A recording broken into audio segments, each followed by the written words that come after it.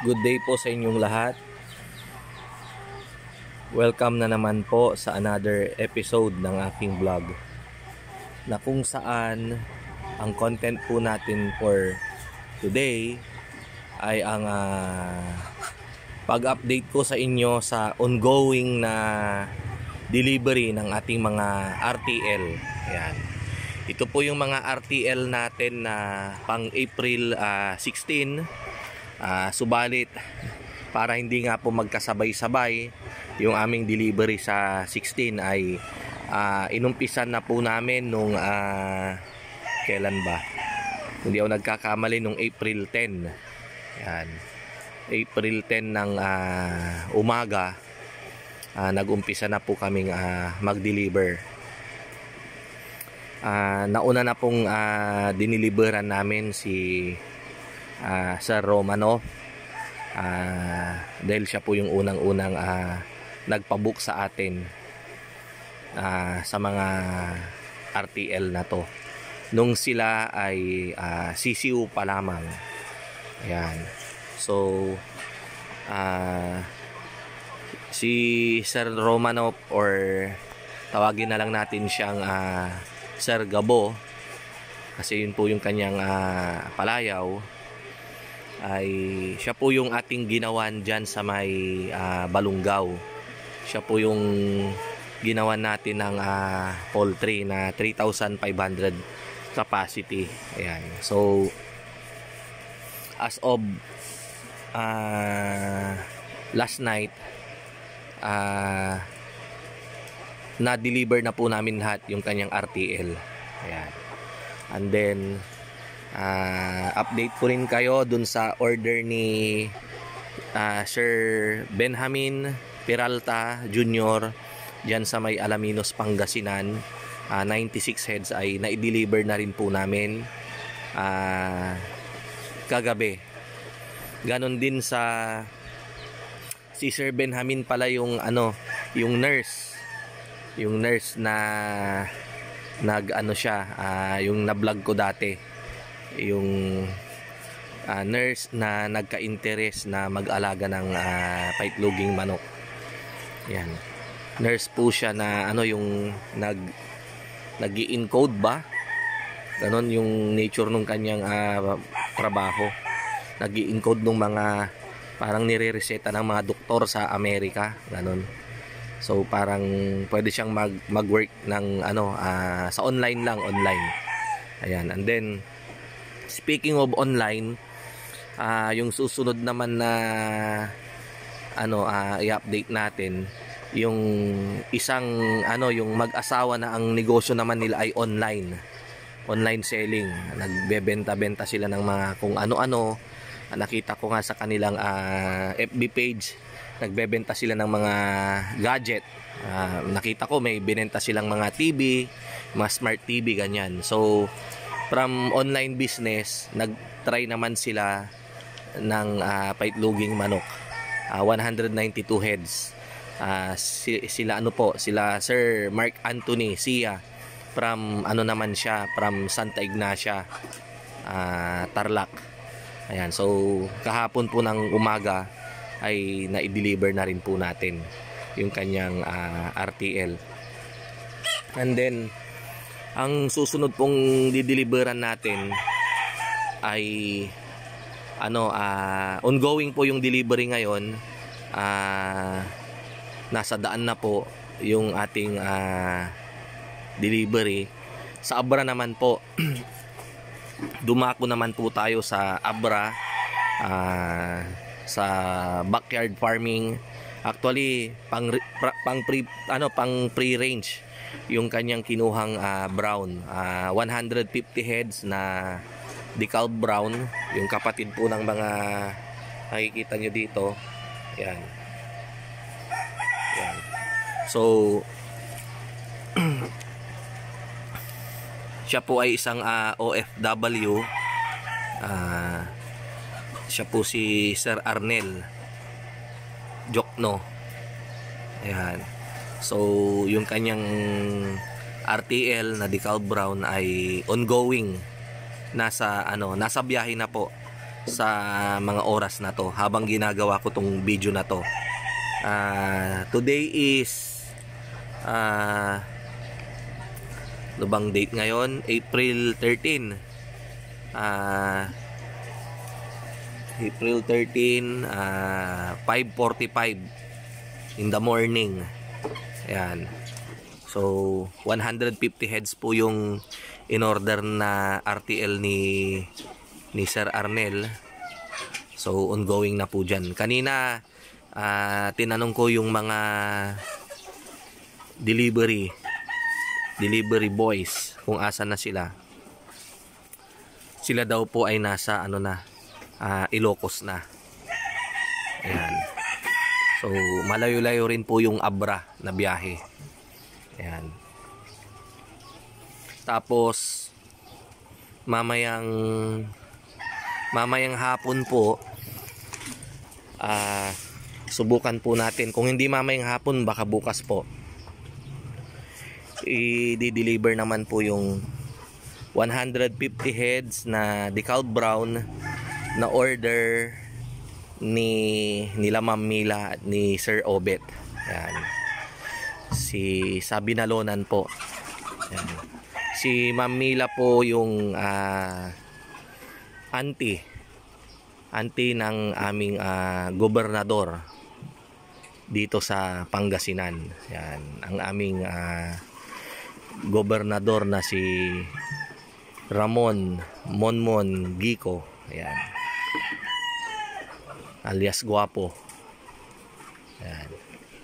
So, kung hindi po mamayang hapon ay bukas po ng umaga. Uh, pang pre-range din po nila sa kanilang likod bahay. Uh, para may source of table eggs sila daily. Uh, for their ano uh, daily consumption. And then kapag yung mga sobra ay pwede rin nilang i-share sa kanilang mga kaibigan. Yan. So abangan nyo po dyan yung inyong RTL Sir Obet kung hindi po mamaya ay uh, bukas ng umaga depende po kung maagang makakauwi yung uh, delivery natin from Abra sa sa may ano uh, Bangged. Ayan.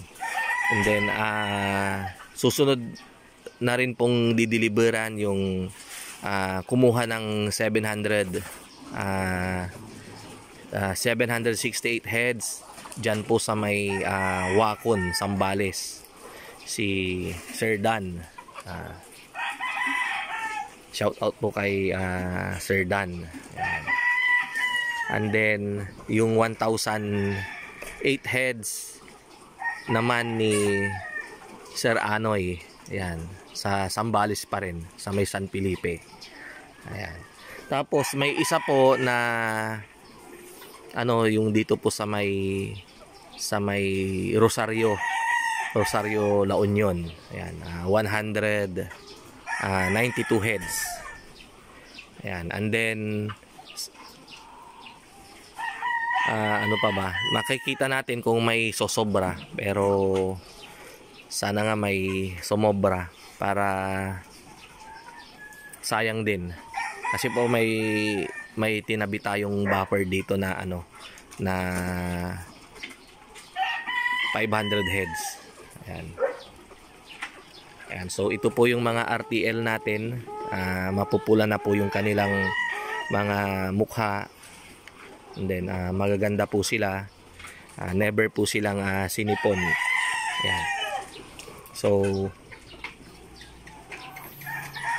uh, sa ano po sa sa Sabado sa Makalawa ay papasyalan papasyal po ako kay uh, Sir Gabo para i-update po, ipakita sa inyo yung kanyang uh, poultry farm.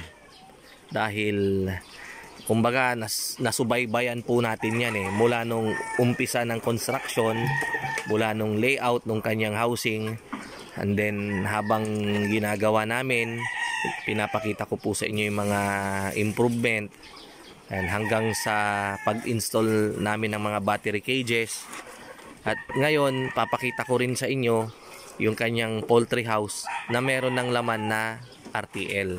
Ayan, so para makita nyo po. Ayan. So abangan nyo po yan sa mga susunod na araw. Ayan. And then hindi rin po ako gaanong nakapag-vlog ng ilang araw kasi nga po medyo busy po kami sa delivery. Uh, medyo marami-rami po kasi and then uh, may mga pakonti-konti kaya ano uh, medyo yung sa delivery kailangang ayusin po natin. Ayan. So after, after nitong uh, April 16 na batch ng ating RTL, ang susunod po natin ay yung ating uh, May 30 na batch. Ayan. So ano na po yan uh, sold out na rin po yung ating alaga na pang May 30 and then June 30 naman po yung susunod. Ayan. Tapos sa mga interesado po ay available na po yung ating uh, pang July which is meron tayo nung pasabay program dyan sa Laguna area.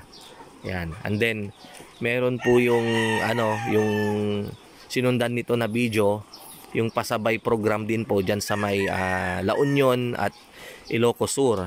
Ayan. So meron din po tayong pasabay program dyan. And then uh, after kong ma-upload tong video na to, gagawan ko rin naman po ng uh, video yung pasabay, isa na namang pasabay program diyan naman po sa Nueva Vizcaya. Ayan. Nueva Vizcaya hanggang sa ano uh, sa may Aurora. Ayan. So sana kapag ano uh, yung delivery diyan sa Aurora ay makasama ako kung di man ako makasama ay makasunod ako sa delivery delivery truck natin para mapasyalan ko yung uh, kaibigan ko diyan sa sa Baler. Ayan. So uh, diyan sa Baler Aurora. Uh, shout out po kay uh, Mayor uh, Ret Angara. Ayan siya po yung uh, ano uh, current mayor dyan sa Baler. Yan. Good morning po, Mayor. Yan. Uh, medyo nagkaka-interest din po kasi si Mayor sa ano, sa paitloging manok natin na negosyo. Ayan. So, parang gusto rin niyang uh, i-consider ito. Ayan. So, saan pa ba? Uh, pwede nating pagsabayin yung Nueva Vizcaya tapos sa Baler. Ayan. So, abangan nyo po yung mga susunod nating video regarding po sa pasabay program. Ayan. So, uh, hanggang sa muli, uh, kita-kita po ulit tayo sa mga susunod nating video. Ayan. Maraming salamat po sa inyong uh, pagsuporta. Uh, yung ating uh, pamilya ay papalaki na as of last night. Uh, nasa 11,600 na po yung ating uh, subscriber. Yan so uh, maraming maraming salamat po sa inyong lahat na tumatangkilik sa ating uh, YouTube channel. At ganon din po sa mga hindi pa nakaka-subscribe please like and subscribe at i-share nyo na rin po yung mga videos natin. Yan. So uh, kita-kita po ulit tayo. Until next time. Yan.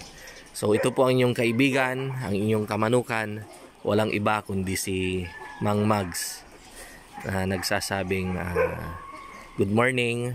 Mabuhay po tayong lahat and God bless